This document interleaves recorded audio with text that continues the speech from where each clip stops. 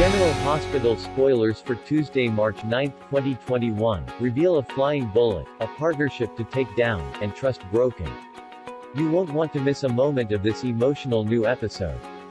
After struggling for control of the gun, bullets fly between Franco and Peter, leaving one of them hit and the other victorious.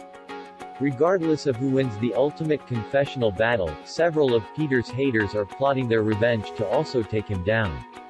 Robert wants to make sure that Spinelli is up for the task of finding all he can with his mega technical skills to nail Peter's coffin for eternity.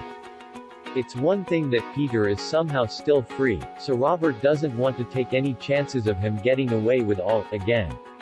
Scott, Elizabeth, and Sam are all left spinning at the hospital, wondering where Franco and Peter are and what the plan will be.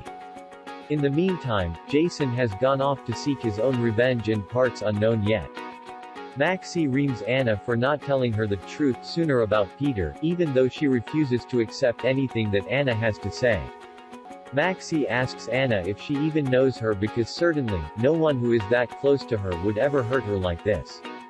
Where Anna fails, Britt takes over and really calls Maxie on the carpet.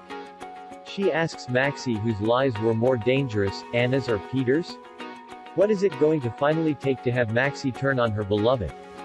Jordan shows up at General Hospital and demands to know so after the absence of a smoking gun, what was your plan, but to who is the question posed? It appears that she's in a hospital room, so it looks like she's asking whoever got hit and survived the gunshot. Best guess is it's Franco, since he is the mastermind behind the kidnapping and nailing Peter to the wall. Did Peter get away and run like Franco suggest he do for everyone involved? Or could he possibly be what most of Port Charles would want right now, dead? General Hospital airs weekdays on ABC. Check your local listings for airtimes.